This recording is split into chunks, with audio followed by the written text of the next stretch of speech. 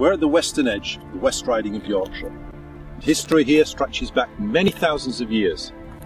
We're in a glacial valley carved out at the end of the last ice age.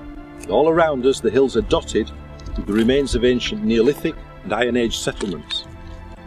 During the days of the Roman Empire, a road ran nearby, linking the fort at Olicana, it's modern day Ilkley about five miles that way, with the city of Mancunium, modern day Manchester. But it was in the 7th century an Anglo-Saxon leader named Hrethel settled here and gave the area its name, Hrethel's Den. It's now known as Riddlesden.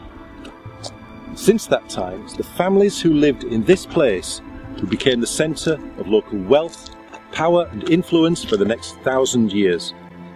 And this is where they lived. This was their home. East Riddlesden Hall. The de Montalts had distinguished themselves in battle. Eustace de Montalt had fought under King William at the Battle of Hastings, and his descendant Andemar was one of the knights who captured William the Lion, King of Scotland, at the Battle of Alnwick in 1174. But all that action didn't leave them much time for construction. Only a single story hall was built during this period. And this section of wall, under this much later building, is all that remains of the original hall. If anything, the Paslews were even more eminent than their predecessors, and included royal administrators, judges and abbots. One of them had been Baron of the Exchequer to Henry III.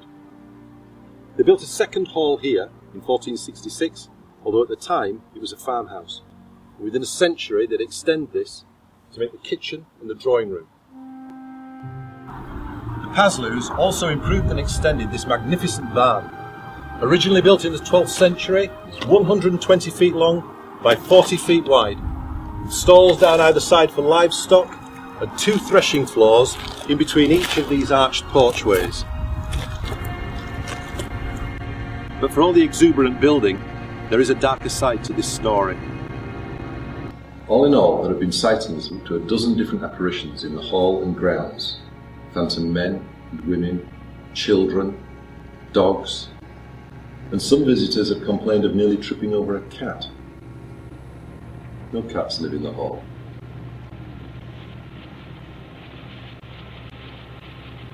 The story of the Grey Lady, one of the de Montalt women, is even more tragic and chilling. The master of the house returned one day to find his lady in flagrante with another man, possibly a travelling merchant, a scandal at the time. The master, a true product of the age in which he lived, reacted negatively. The lady was locked in her bedchamber and she starved to death. The lady's lover paid an even more terrible price. He was bricked up in a wall and left to die. Of course, that meant they were devout Catholics, so, when Henry VIII broke with the Church of Rome and began the Reformation during the 1530s, the Paslews found themselves in opposition to the king himself.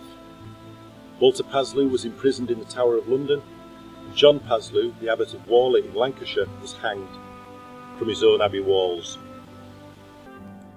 James Murgatroyd is the really towering figure in the history of this hall, and much of the modern restoration reflects his time and the work he carried out here. And yet his reasons for moving here were stark and simple and driven by survival.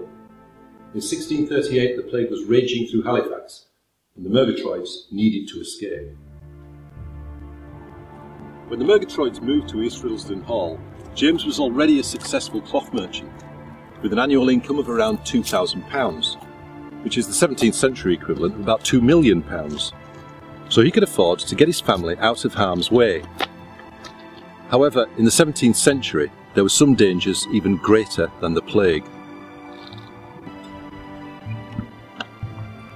Instead, James threw himself into a new round of building and renovation work here at East Riddlesden Hall.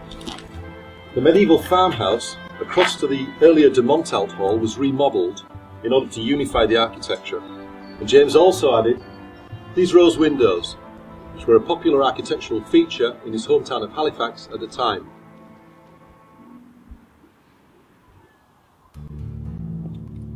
Now, the way the hall is approached today was originally the back of the building. This was the front.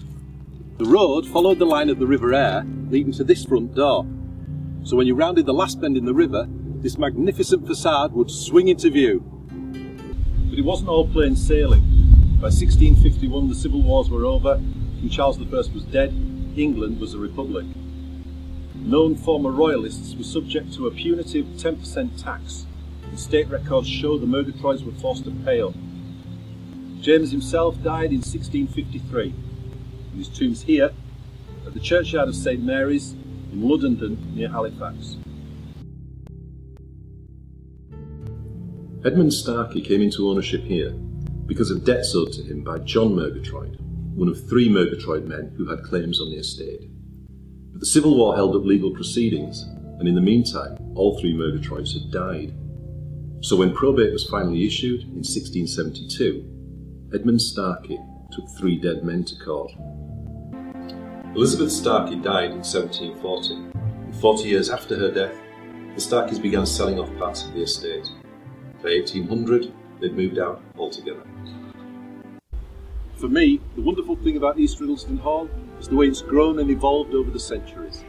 A dozen families built it, and 50 generations lived here, each one adding to our shared history, our shared heritage.